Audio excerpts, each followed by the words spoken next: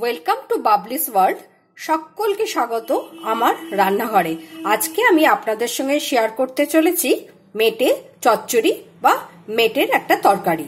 তো তার জন্য আমি নিয়ে নিয়েছি আড়াইশো গ্রাম মেটে। আমি কুকারেই এটা রান্না করব। কুকারে দিয়ে দিয়েছি পাঁচ টেবিল চামচ সর্ষে তেল।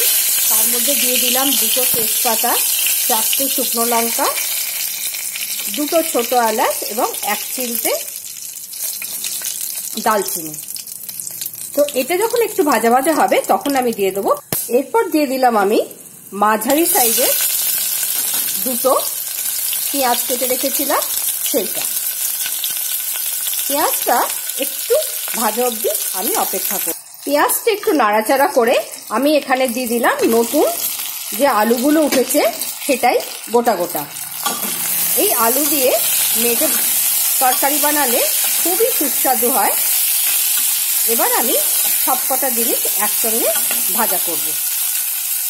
পেঁয়াজটা আর আলুটা একটু ভাজা হয়ে যাওয়ার পর দিয়ে দিলাম দু টেবিল চামচ পরিমাণ আদা আর রসুনের একটা পেস্ট আর হাফ, একটা বড় সাইজের টমেটোর হাফ। এটাকে আমি এবার খুব ভালোভাবে কষতে থাকব। এইবার আমি দিয়ে দিলাম পরিমাণ মতো চিনি কাশ্মীরি লঙ্কার গুঁড়ো, হলুদ এবং নুন। এটাকে আমি এবার খুব ভালোভাবে কষতে থাকব। মশলাটা দিয়ে যখন তেল ছাড়তে শুরু করে দিয়েছে, তখন আমি এর মধ্যে দিয়ে দিলাম মেটেটা। মেটেটা ছিল আড়াইশো গ্রাম এবং এটার মধ্যে অল্প নুন এবং একটু অল্প হলুদ দিয়ে আমি মাখিয়ে রেখেছিলাম। আর কিছুক্ষণ কষে আমি এবার এর মধ্যে দিয়ে দেবো গরম জল। দিয়ে দিলাম গরম জল। যেহেতু এটা একটু একটু মাখা মাখা করব, সেই জন্য বেশি জল দিলাম না। এটাকে এবার আমি খুব ভালো করে নাড়াচাড়া করে কুকারে দুটো স্টিম দিয়ে নেব। মাটন করতে বেশি সময় লাগে, কিন্তু মেটে করতে বেশি সময় লাগে না। দুটো স্টিম দিলেই এটা হয়ে যাবে।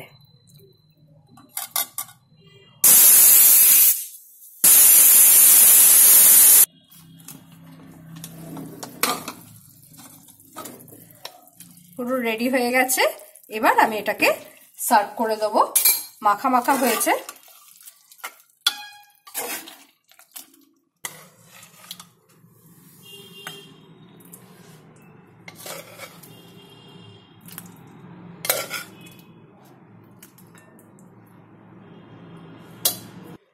মেটে চচ্চড়ি বা মেটের রেসিপি কমপ্লিট নেক্সট কোনো ভিডিওর জন্য।